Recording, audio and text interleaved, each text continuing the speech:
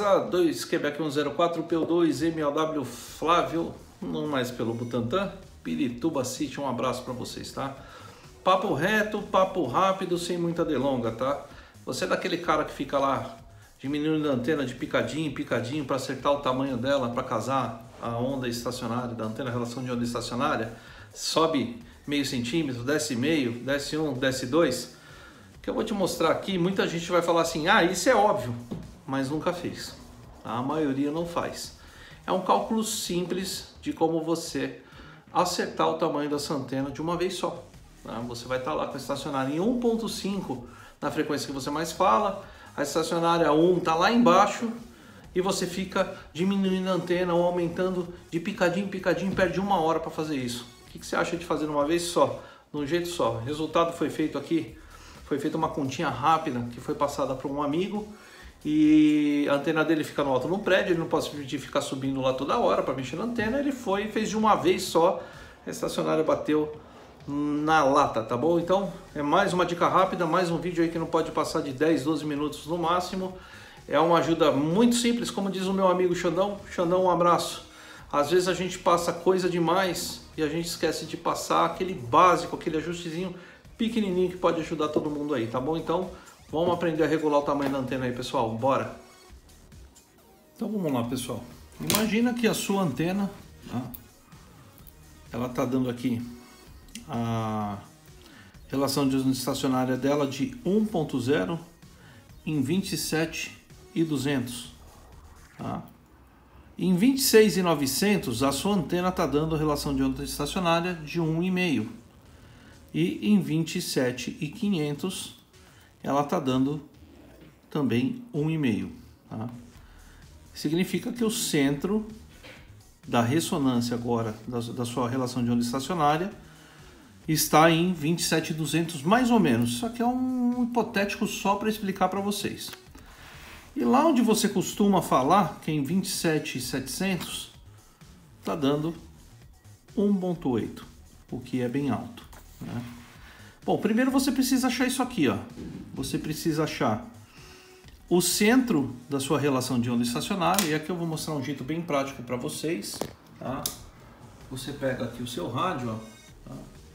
deixa ele aqui, ó, marcado, no caso do meu, né, marcado para medir estacionária, beleza?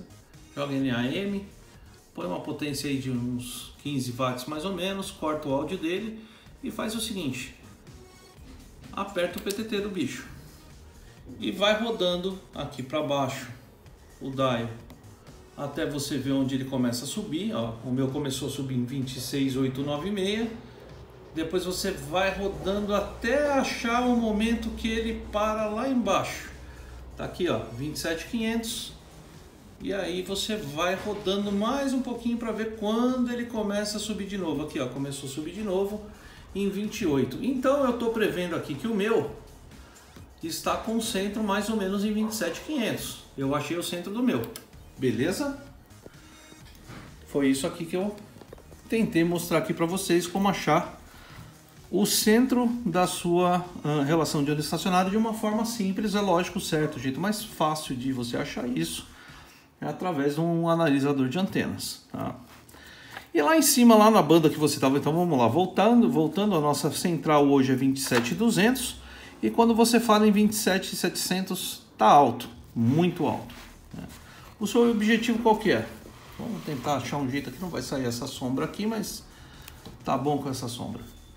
O seu objetivo é deslocar essa esse 27,200 um pouco mais para cima. Lógico que não em 27,700, porque lembrando que a banda da faixa do cidadão ela acaba em 27 855, então não faz sentido você sintonizar a sua antena aqui, né?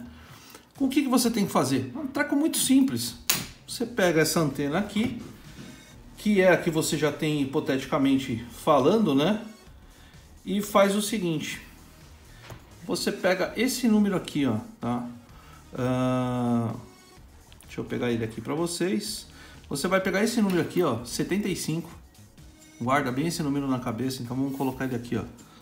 75, tá aqui guardado.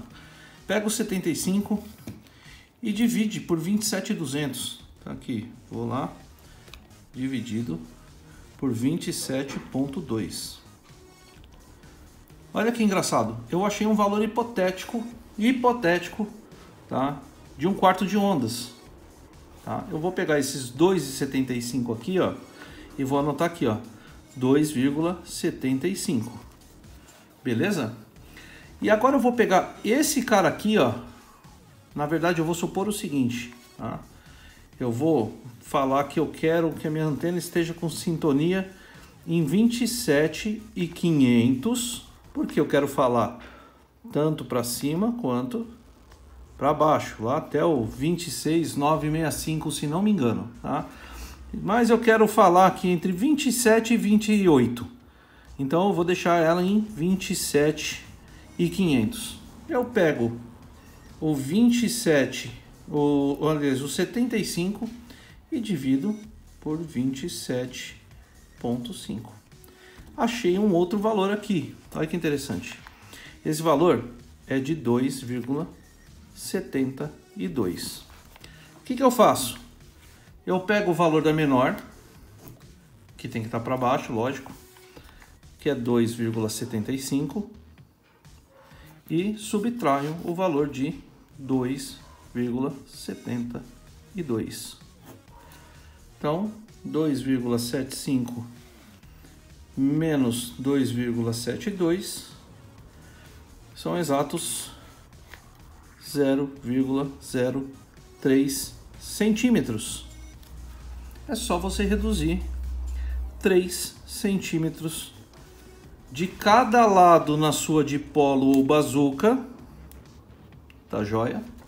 Se ela for bazuca ou dipolo, de cada lado se ela for uma vertipolo e 3 centímetros só de cima se ela for uma 5 oitavos. Você acabou de ajustar uh, muito próximo do valor esperado a, o posicionamento da sua relação de onda estacionária. É lógico, muita gente vai falar um monte de coisa, depende de altura de antena, depende de não sei o que, depende de cabo, blá, blá, blá, blá, blá.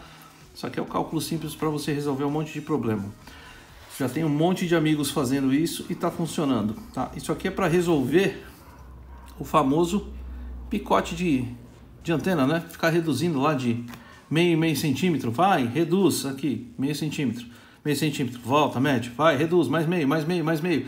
Você perde lá 40, 50 minutos para reduzir tamanho de antena, quando que você pode ir lá numa vez e matar a charada, tá? Um outro ponto importante, se esse valor aqui for menor que esse valor aqui, tá?